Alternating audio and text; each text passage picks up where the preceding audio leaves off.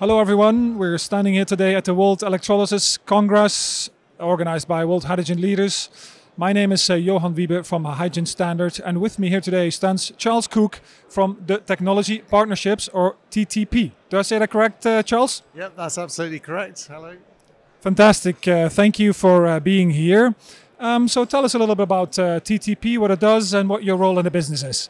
Okay, so TTP is a technology and systems development company and we work for client companies to um, bring technologies to market and to fruition. And um, we're about 250 engineers and scientists, uh, very multidisciplinary, working on a campus in Cambridge with uh, loads of facilities. So we're all set up to develop technologies fast and take them right the way through from sort of a first idea through to being ready to manufacture and, and mass produce, including getting them tested and, and qualified. And um, yeah, and that's what we do. We, are based in Cambridge and we work for companies around the world. So. Excellent. Thank you uh, for that uh, introduction. Um, you did a presentation today, um, the f- predicting future technology trends. Everybody wants to know how the future looks like, uh, Charles. So tell us a little bit about that, please. Yeah, well, I did start off with a caveat saying that predicting the future is uh, very, very difficult, of course. And I had 20 minutes as well. But it's focusing on the sort of technology themes and uh, the, the, four themes I looked at were um, is technology converging or is it diversifying as, as we progress? Uh, are we sort of going towards a, a kind of a sort of single solution or, or, is it, or is it lots of different things that are, that are all taking um, flight? And uh, yeah, my opinion is it's the latter. So uh, the energy transition has um, many phases. Opportunities open up and then they close again. And um, there are all sorts of things that you can do to the design of a system to make it better for one set of circumstances as opposed to another. So I think the, there's a big case for sort of diversification. That was one thing. Another thing I talked about was um, a few sort of hot topics that we see a lot of inquiries about and that we're very active in.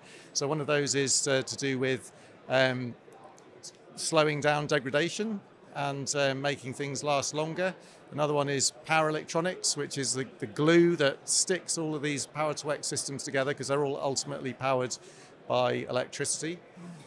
And then um, another topic was about sort of places, the effect on places. The energy transition means that um, different areas of the world will take on different significances, and um, Morocco in particular is one place where there's a lot happening with um, OCP's investment in green ammonia, and um, we're we're involved in that in the sense that we're, we're partnering with InnovX to build a, a new technology development venture there, so that we can develop utility scale solutions in the geography where they're going to be used using local talent. So those are the main themes. Yeah. Okay, that's a, that's a vast landscape uh, sort of to cover. Uh, obviously, not an easy job to look into the future and cover the whole sort of energy transition space. But let's uh, zoom in a little bit onto hydrogen and sort of uh, the hydrogen industry, um, its place in sort of the energy transition, and particularly sort of your role or sort of your business, what TTP can do for the hydrogen industry, and uh, what, what sort of services you can provide there. Okay, so we're, we're currently very involved in um, the hydrogen um, the hydrogen space.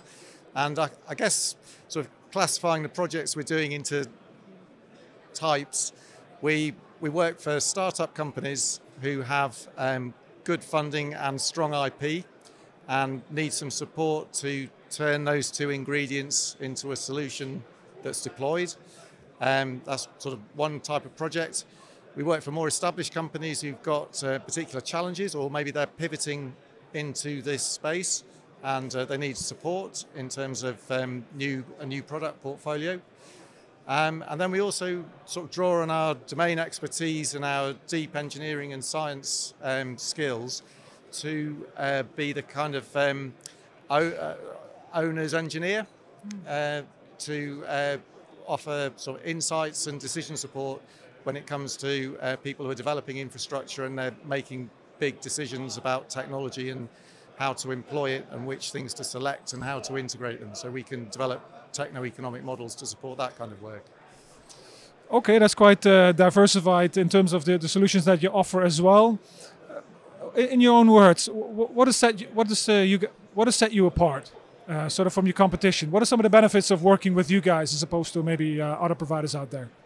Okay, I think the uh, benefits of working with us are you've basically got a ready-made team with um, facilities that they know. So it's to do with speed. A lot of it's to do with speed of execution.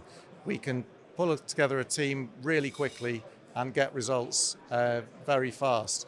And uh, you can draw on the experience. You don't need to go out and recruit people that are hard to find because we're, we're sort of there already. So I think it's that speed of execution and the multidisciplinary aspects of the team.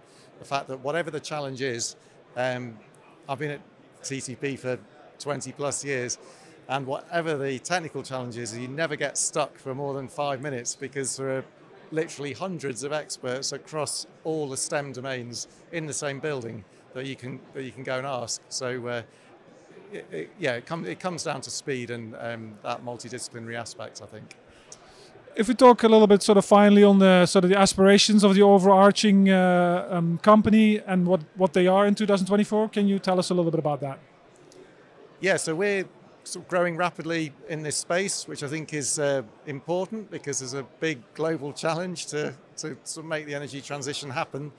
And um, the, in, in, hydrogen, the ultimate problem that we're trying to solve is um, reducing the levelized cost so that uh, it becomes um, cost competitive uh, with fossil fuels. And there are so many different fronts that you can attack that on. So we can um, sort of develop new materials. We can um, change the de- design of devices to optimize them for the actual conditions that they're operating in. We can work on the power electronics to match the generation of renewable energy to the consumption of it at the lowest possible cost. Um, make things last longer, instrument things better, uh, use data more effectively to um, have early interventions when things go wrong or need replacing. So it's a, it's a really rich area, but we're always working to reduce the, the levelized cost and to help our clients achieve that, whether they're making materials or equipment or whether they're um, developing new infrastructure. Well, that's an excellent focus to be on uh, to make the industry, particularly the green hydrogen industry, uh, competitive, so to speak, going forward. Charles Cooke from TTP, thank you very much.